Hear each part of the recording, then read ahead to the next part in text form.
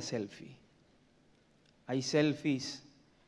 Que les quiero decir que la selfie no es algo de ahora, ¿eh? Ahora porque tenemos los teléfonos y te das vuelta y, haces y te sacas la foto. Pero hace mucho tiempo, cuando ni siquiera existía la cámara digital, que todavía existía la cámara de rollo, que tenía la perillita que tenía que correrla hasta que pasara y te podía sacar la otra, ya las más avanzadas venían con el disparador automático. Y hemos usado aparadores, cocinas, lavarropas. ¿Para qué? Para poner la cámara, apretarle el botoncito, salías corriendo a, juntarte con el grupo y te ponías así y esperabas. Y vos escuchabas que corría la cosita y de repente, ¡pum!, disparaba. Tres flash, salía la foto. Si vos llegabas a abrir la cámara, el rollo, antes de tiempo, se velaba. ¿Qué quiere decir eso? Perdiste todas las fotos. O sea que la selfie no es de ahora, viene de antes ya. Claro, ahora está mucho más fácil, ¿no? Porque está con el teléfono. Y lo peligroso de eso es que ahora hay selfies donde vos quieras que vayas. A mí me llama la atención poderosamente cómo es que hay gente que se saca selfie en el baño. ¿O no?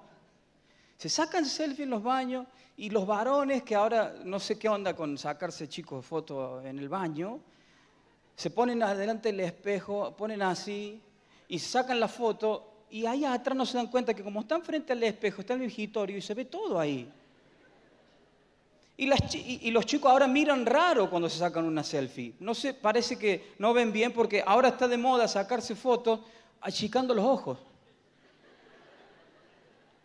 Y las chicas no sé qué onda con los labios, pero hay algo que hacen que cada vez que se saca una selfie, no ponen los labios como son en la vida real. Te hacen algo así.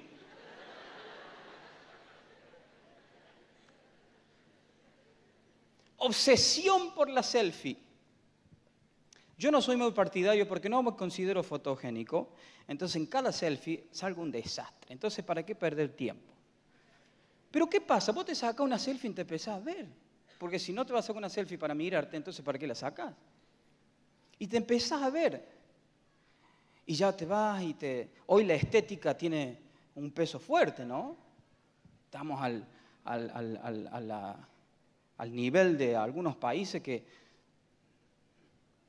recauchutaje completo. Y vos te ves y te mirás y decís, bueno, me voy a peinar así, me voy a peinar así, o Dios mío, ¿qué está pasando por acá? Hay un pelo blanco ahí. Y empezás a verte y te empezás a dar cuenta de muchas cosas, del paso del tiempo, de los kilos adquiridos, de ojeras. Y te ves, te ves, te ves, te ves, te ves. Yo me puse a pensar qué importante que es mirarse a uno mismo. Ahora, cuando nosotros nos miramos sin la necesidad de contar cuántos le dieron me gusta a mi foto y a estar compitiendo, ah, yo tengo cinco me gusta, él tiene siete, y a ella le dieron ocho, llevo por 147. En lugar de estar compitiendo por los me gusta, a ver a quién le gustó mi foto, o a ver si a ella le gustó, a ver si me puso me gusta, de mirarnos a nosotros mismos para vernos a nosotros mismos y de corregir lo que tenemos que corregir y de cambiar lo que tenemos que cambiar. En esta generación tan presta para la selfie, ¿por qué no nos miramos un poquito a nosotros mismos? Sin sacar la foto con el celular, pero tomando la palabra de Dios y viéndonos ahí, como cantamos recién, encontrando nuestro lugar en su corazón. Quiero hablarte esta noche acerca de la importancia de hacerte una selfie, pero en el ámbito espiritual. De sacarte una foto vos y, mirarte, sin condicionamientos de cómo te ven los demás, sino con la verdad de cómo te ve Dios. Y el ejemplo número uno que tenemos es el mismo Jesús. En Lucas capítulo 4 se relata la tentación de Jesús. Y déjame decirte que la tentación del desierto tuvo que ver pura y exclusivamente con el diablo viniendo a atacar la identidad de Jesús, porque cuando el, diablo le, le tienta a Jesús, le dice, si eres el Hijo de Dios. O sea que empezó directamente en atacar la identidad de Jesús, diciéndole, si eres el Hijo de Dios, di esta piedra que se convierte. Si eres el Hijo de Dios, vino a atacar su identidad. Ahora, si, si yo hubiera sido Jesús carnal, así como soy, ¿no? Si, si, si hubiera sido yo, yo le he dicho, ¿qué? Ah, ¿Que no querés que soy el Hijo de Ah, ya, yo te demuestro, ya ves, ya ves. ¿Cuál, ¿Cuál es la piedra? ¿Cuál es la piedra? Porque quería, mi humanidad, no sé si soy claro lo que digo, mi humanidad hubiera querido demostrar, ¿o no? Sí, soy, soy, soy hijo de Dios. más vale que soy yo. ¿Quién otro va a ser? ¿Cuál es la piedra que quiere que te convierta? ¿Cuál? Sin embargo, Jesús no, se sintió en la necesidad de, de demostrarle nada. Él sabía que era el Hijo. Él sabía su identidad y él sabía su propósito. Ahora, después relata el libro de, Lucas que Jesús luego, dice el verso 16 del capítulo 4, vino a Nazaret donde se había criado y en el día de reposo entró en la sinagoga conforme a su costumbre y se levantó a leer. Y se le dio el libro del profeta Isaías y habiendo abierto el libro, halló el lugar donde estaba escrito, el Espíritu del Señor está sobre mí, por cuanto me ha ungido para dar buenas nuevas a los pobres, me ha enviado a sanar a los quebrantados de corazón, a pregonar libertad a los cautivos y vista a los ciegos, a poner en libertad a los oprimidos, a predicar el año agradable del Señor. Y enrollando el libro, lo dio al ministro y se sentó, y los ojos de todos en la sinagoga estaban fijos en él y comenzó a decirles, hoy se ha cumplido esta escritura delante de vosotros. Jesús termina de leer una profecía donde hay una palabra de empoderamiento, si se quiere, y él dice, hoy esta palabra, a todos ustedes que me escuchan les digo, esta palabra se cumple delante de ustedes. Él en ese momento activó su propósito, se aseguró su identidad y dijo, yo tomo esta palabra. Se ha cumplido delante de ustedes. Era él el que estaba leyendo esa profecía y le dijo a la gente, hoy se cumple delante de ustedes esto. Él aceptó en ese momento el llamado del Padre, el llamado de restaurar, de sanar, de traer eh, eh, libertad. Él lo tomó. Ahora, quiero que leamos Lucas 23, 35. Jesús entonces recibe el llamado, acepta el llamado y toma esa profecía para él. Y dice, esta palabra se cumple hoy delante de ustedes. Jesús cumplió con lo que él tenía que hacer y va a morir a la cruz. Y dice el capítulo 23, verso 35 en adelante.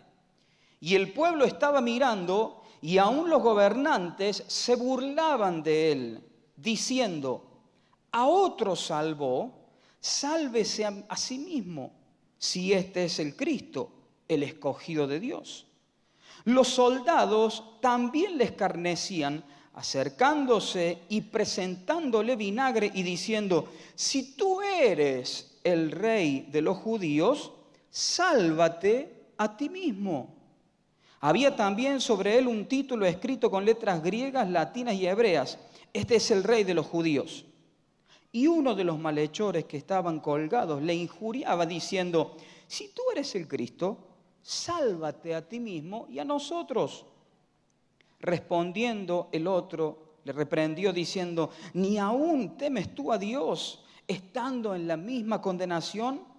Nosotros a la verdad justamente padecemos porque recibimos lo que merecieron nuestros hechos. Mas este ningún mal hizo. Y dijo a Jesús, acuérdate de mí cuando vengas en tu reino. Entonces Jesús le dijo, de cierto, de cierto te digo, que hoy estarás conmigo en el paraíso. Jesús estaba a punto de morir Y hasta ese último instante había voces que cuestionaban su identidad. Si eres el Hijo de Dios, ¿por qué no te salvas a vos mismo?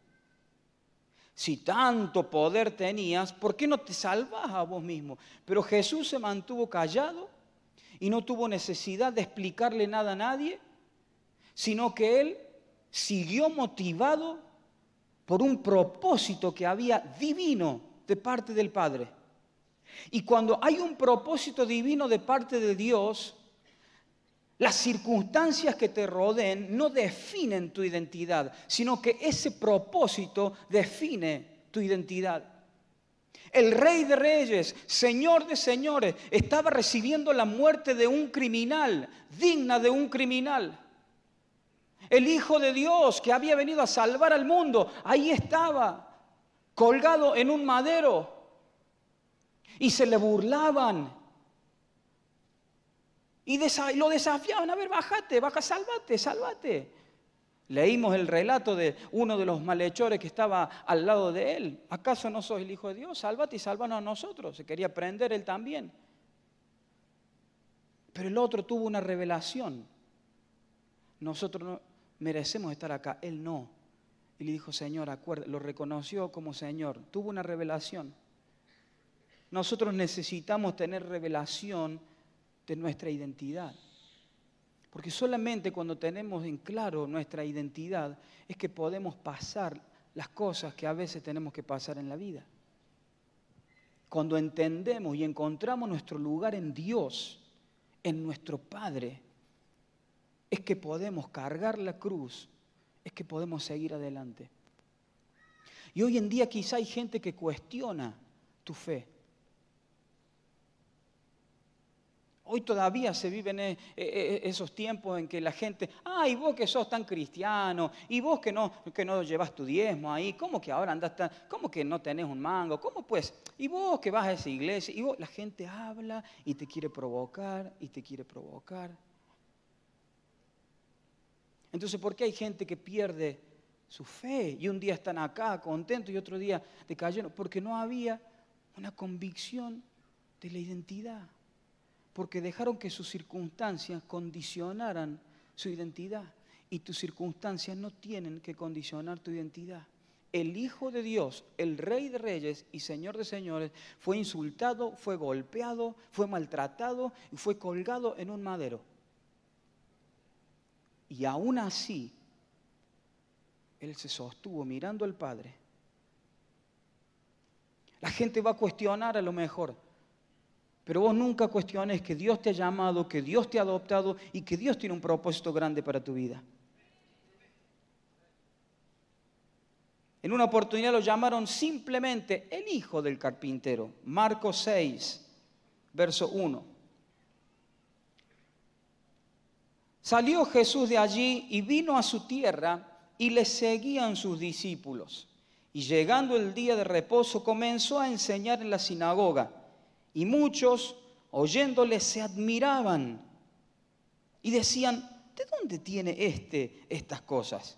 ¿Y qué sabiduría es esta que les dada? Y estos milagros que por sus manos son hechos. ¿No es este el carpintero, hijo de María, hermano de Jacobo, de José, de Judas y de Simón? ¿No están también aquí con nosotros sus hermanas? Y se escandalizaban de él. Mas Jesús le decía, no hay profeta sin honra sino en su propia tierra y entre sus parientes y en su casa. Y no pudo hacer allí ningún milagro, salvo que sanó a unos pocos enfermos, poniendo sobre ellos las manos. Y estaba asombrado de la incredulidad de ellos y recorría las aldeas de alrededor enseñando. La gente decía, pero este no es el hijo del carpintero. ¿De dónde saca todas estas cosas? Sí, el carpintero. Así como de vos o de mí, pues pero este no es el hijo del carnicero. ¿Qué se viene a hacer ahora el pastorcito? Pero si ella no es la hija de la modista. Si cuando yo voy ella me, me surfila el ruedo. ¿Qué viene ahora con GC? ¿Qué, qué, qué se hace ahora? La gente va a cuestionar porque saliste de determinado lugar o porque saliste de tal, tal o cual barrio. No, si vos no venís de ahí, no. Si vos saliste de ahí, ¿qué? ¿Qué se puede esperar de alguien que salga de ahí? Pero ellos no ven lo que Dios vio. Y vos tenés que ver lo que Dios vio. Yo vengo de un barrio muy humilde en Córdoba, Vía Salay. Ahora le han puesto General Mosconi. Pero cuando yo era chico era Vía Salay. Y ahí a dos casas había una vía miseria, donde reinaba el negro pupa. No sé dónde estará, que Dios lo haya. Y este hombre era el rey en la zona. Y cuando a él se le ocurría, sacaba su arma, salía borracho, a pegar tiros por todos lados. Y nosotros, una vez, un miércoles a la noche, y había gente que vendía droga, y era complicada la situación. Y una noche, yo habré tenido 18, 19 años, volvía de calle Salta. ¿Se acuerdan esos maletines duros que se usaban antes que eran así? Una cosa dura era. Con eso andaba yo. Por si alguien se hacía el malo le daba un maletinazo no se acordaba. Y ahí adentro tenía mi Biblia, así de gorda, y mi cancionero. Porque en esa época era pecado andar sin cancionero. Y si no anotabas las canciones del ensayo, ojo, estabas ahí a un paso de caer al Hades. Entonces andaba con mi cancionero y yo dirigía la alabanza. Andaba muy cancionero y mi Biblia en el maletín.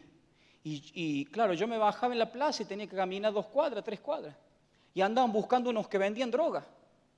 Y voy llegando yo, once de la noche, once y media, y viene un auto policía y se para al lado con las luces. Y yo sigo caminando, porque si yo venía de la iglesia. Y de repente se baja y me dice, pare, arriba las manos. Era de película, abro la mano, ¡puf! cae el maletín, pesado el, y sale una vecina del frente, ay no, es Miguelito, él es bueno, él es bueno. Pero los policías no le creían a la vecina. Me dice, las manos arriba, y me, y me hicieron poner así arriba del, auto. Y me dice, abre el maletín. Y yo lo miro como que sí, me acaba de decir que ponga la mano acá arriba, y ahora que el maletín, ¿qué hago? ¿Cómo voy a abrir? Dice, ¿qué tiene ahí? La Biblia. Y me mira así como queriendo decir, andate a otro con ese verso. No le digo la Biblia, la Biblia. Y me hizo abrir, saqué la Biblia, saqué el cancionero. Y buscaban algo, le digo, no hay nada más.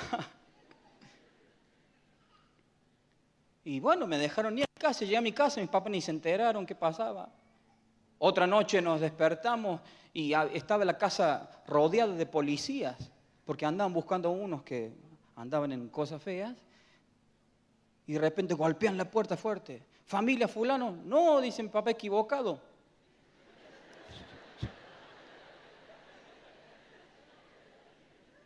Documento, le dice el hombre. Y por la rendijita de la ventana se pasaban la información. Y le pasó en papel el documento. Ah, disculpe. Y dice, retrocedan nomás. Y de repente empezaron a salir del patio de todos lados. Teníamos la casa rodeada. No, nadie me los contó, yo lo viví. Allá del fondo vi esa ley.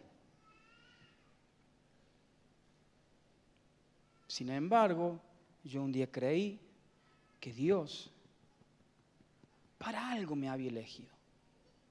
Y me animé a creerle a Dios. No importa de dónde venís, no importa dónde tocó nacer. Lo importante es que hay un Dios que te vio antes de que nacieras. Y desde que antes que nacieras, Él te dio un propósito en esta vida. Este no es el hijo del carpintero, simplemente, mira, vos podés ser hijo del carpintero, vos podés ser el hijo del carnicero, pero para Dios sos alguien con un gran propósito. En Juan capítulo 1, verso 43, hay una historia de, de un tipo que a mí me parece espectacular, mira. No sé si, mira, lo leamos. Juan 1, 43 al 49. El siguiente día quiso Jesús ir a Galilea y halló a Felipe y le dijo, sígueme. Y Felipe era de Bethsaida, la ciudad de Andrés y Pedro. Felipe halló a Natanael y le dijo, hemos hallado a aquel de quien escribió Moisés en la ley, así como los profetas, a Jesús, el hijo de José de Nazaret. Y Natanael dijo, fíjense lo que dice él, ¿no? ¿De Nazaret puede salir algo bueno? Le dijo Felipe, ven y ve. Cuando Jesús vio a Natanael que se le acercaba, dijo de él, presten atención que esto está espectacular, he aquí un verdadero israelita en quien no hay engaño. Le dijo Natanael, ¿de dónde me conoces? Respondió Jesús y le dijo, antes que Felipe te llamara, cuando estabas debajo de la higuera, te vi. Respondió Natanael y le dijo, Rabí, tú eres el Hijo de Dios, tú eres el Rey de Israel. Pedazo falso.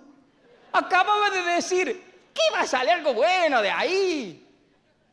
¿O no? Acababa de decir, ¿acaso puede salir algo bueno de Nazaret? no creyó. Y Jesús, como el Señor conoce nuestra incredulidad y nos da cachetazos a veces, porque nosotros nos movemos en incredulidad y viene Dios a mostrarte su gracia, su fuerza, su poder y quedamos nosotros. ¿ah? Jesús ya percibiendo la incredulidad de Natanael, que había dicho, ¿qué algo bueno puede salir de ahí? Jesús le dijo, Natanael. Y miren cómo lo califica Jesús. ¿Qué le dijo? he aquí un verdadero israelita en quien no hay engaño. Y claro, ahí Natalia, como hablaban bien de él, ya dijo, oh, ¿de dónde me conoces? Antes que Felipe te llamara, cuando estaba debajo de la higuera, te vi. Rabí, tú eres el Hijo de Dios, tú eres el Rey de Israel. Jesús no necesitaba que Natanael lo reconociera para ser el Hijo de Dios. Y aunque Natanael por un momento dudó, Jesús se mantuvo con su identidad intacta. Él era el Hijo de Dios. Hay gente que puede dudar de vos por tus orígenes, por tu apellido, por cuestiones del pasado,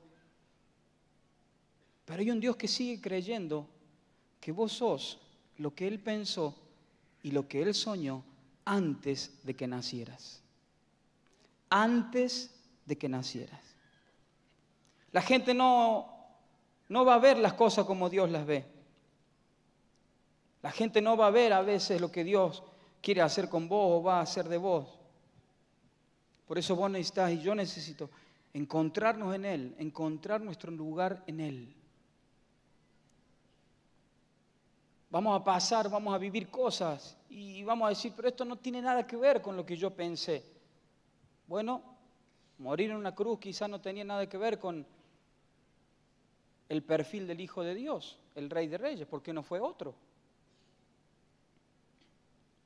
Jesús nació en un lugar humilde, Jesús tuvo que hacerle caso a su mamá, a su papá, tuvo que trabajar como carpintero, se bautizó, obedeció.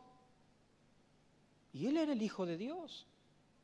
Y no me imagino a Jesús diciéndole a María, no, no, no, yo no me ningún los platos porque yo soy el Hijo de Dios. Yo soy el Hijo de Dios. No me lo imagino Jesús discutiendo así con sus padres. ¿Qué voy a la cama? No, cama, tiéndete a ti misma. Se ubicó y cuando tuvo que ser un hijo obediente, fue un hijo obediente. Y cuando tuvo que ser carpintero, fue carpintero. Porque él sabía dentro suyo quién era. Y cuando vos sabés quién sos, estás dispuesto a todo. No, yo no hago eso porque yo soy el cantor. No, yo no hago eso porque ahora yo soy esto. No, eso es para la gente del nivel 1, yo ya estoy en el 3. Cuando vos sabes quién sos, no te importa venir acá a la iglesia, andar a, limpiar los baños, agarrar inodoro con toda la fuerza del mundo, porque vos sabés quién sos. Vos sabés quién sos y no vivís para la opinión de los demás. No vivís para que te vean. Vivís para que Dios cumpla su propósito en vos. Vos sabés quién sos y pase lo que pase, no te vas a mover de eso. Jesús pasó una y otra. Me gustó el Hebreos capítulo 12 que leyó el pastor Sergio. Hebreos capítulo 12. Veamos el verso 2. Hebreos 12, 2. Puesto los ojos en Jesús, el autor y consumador de la fe, el cual por el gozo puesto delante de él, sufrió la cruz, menospreciando el oprobio, y se sentó a la diestra del trono de Dios. Miren si él sabía quién era o no, que estuvo dispuesto a sufrir, porque había un gozo delante de él, menospreciando el oprobio. Oprobio significa vergüenza pública o deshonra. La vergüenza pública y la deshonra que él vivió la menospreció. Él sí sabía quién era. Si a veces a nosotros nos hacen algo y ¿qué hacemos? Uy, nos convertimos. Y Jesús a lo oprobio, a la vergüenza pública y a la deshonra que él sufrió, ¿qué hizo? La menospreció. No le dio importancia. ¿Por qué? porque Él sabía quién era. Y vos y yo tenemos un propósito. ¿Cuántos creen que podemos ser imparables? Bueno, para ser imparables tenés que saber quién sos. Y bancarte las situaciones que te tengas que bancar.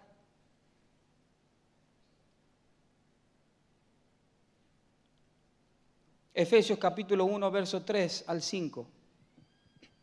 Bendito sea el Dios y Padre de nuestro Señor Jesucristo, que nos bendijo con toda bendición espiritual en los lugares celestiales en Cristo, según nos escogió en Él antes de la fundación del mundo para que fuésemos santos y sin mancha delante de Él, en amor, habiéndonos predestinado para ser adoptados hijos suyos por medio de Jesucristo, según el puro afecto de su voluntad. Dios te adoptó y ahí está tu verdadera identidad, ahí está mi verdadera identidad, que Dios te adoptó, Dios te eligió, Dios te miró. Y, yo sé que no te estoy dando una gran revelación, yo sé que no te estoy dando una gran noticia, que vos ya lo sabés a esto, pero una cosa es saberlo y otra cosa es recordártelo todos los días cuando viene el oprobio, cuando vienen las malas situaciones, cuando vienen los malos tiempos. Ahí tenemos que decir, yo soy adoptado por Dios, yo soy su hijo, yo tengo identidad en Cristo, yo encuentro mi lugar en Él y yo estoy dispuesto a lo que venga porque sé que hay un gozo que viene después para mí. El final de la historia, nosotros terminamos con los brazos levantados y al Señor declarándonos más que vencedores en Él. Efesios 2.10 dice, porque somos hechura suya, creados en Cristo Jesús para buenas obras, las cuales Dios preparó de antemano para que anduviésemos en ella. Dios te creó, me creó y para cada uno de nosotros ha creado buenas obras, para que hoy nosotros caminemos en esas buenas obras. Las situaciones van a venir, los problemas van a venir, tu identidad va a ser cuestionada, va a ser puesta a prueba, pero tenés que saber que es posible encontrar tu lugar en el corazón del Padre. Es posible encontrarte en Él. Y pase lo que pase, así te toque la tentación en el desierto. Así te toque el desprecio, el menosprecio de la gente, así te toque lo que te tenga que tocar, así tengas que atravesar por una enfermedad, un problema familiar, pase lo que pase al final, quienes somos, va a salir a relucir. Somos hijos del Dios Todopoderoso. Y nada ni nadie nos podrá detener. Porque tenemos un propósito en Él. Tus circunstancias no definen tu identidad. Tu propósito define tu identidad. Te tenés que ver como el hijo, la hija amado de Dios. Tenés que dejar la opinión de los demás a un lado Porque hoy va a haber gente que te dice, ay, mira vos, qué lindo. Y esa misma gente mañana vaya a saber cómo te trata. ¿Cuánta gente se desanima, se viene abajo? Porque alguien no le respondió de la manera que esperaba que te respondiera, porque, porque bueno, los seres humanos somos así, a veces nos portamos bien, a veces mal, y a veces lastimamos, herimos sin querer hacerlo, pero terminamos. Y una persona herida se viene abajo y empieza tu identidad a quebrajearse porque alguien te hizo esto o lo otro. Y Dios te está diciendo, hey, ¿acaso no encontraste tu lugar en mí? ¿No te encontraste en mi corazón? pase lo que pase, sea lo que sea que tengas que atravesar por esta vida, Él siempre va a estar tomándote la mano. Porque cuando parecía que Jesús estaba solo en esa cruz, que Él llegó hasta decir, ¿por qué me has abandonado? Ahí estaba Dios. Ahí estaba Él tomándolo de la mano y lo acompañó durante todo el proceso. Y esa misma mano que lo sostuvo en la cruz fue la mano que tres días más tarde lo levantó entre los muertos. Y fue la misma mano que movió la piedra. La mano de Dios nunca te va a soltar si vos encontras tu lugar en Él. ¿Quién sos? ¿Lo que dicen los demás? lo que marca el barrio de donde venís? ¿Sos lo que tu familia condicionó? ¿Sos lo que tu poder adquisitivo marca? ¿O sos lo que definen los amigos que te rodean? Yo he visto cómo gente ha cambiado drásticamente porque han cambiado de amistades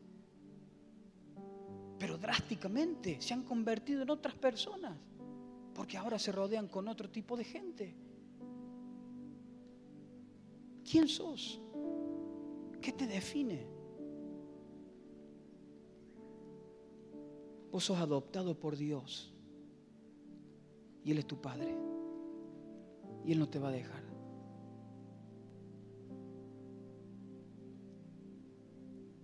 Todo lo que te rodea todo lo que te ha pasado, por algo estuvo ahí. Pero eso no tiene que definirte.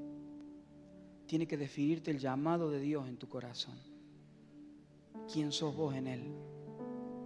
Y si verdaderamente encontraste tu lugar en Él, eso te hace imparable. Eso te hace más que vencedor. Quiero pedirte que te pongas de pie. y que recibas esta noche la paternidad de Dios.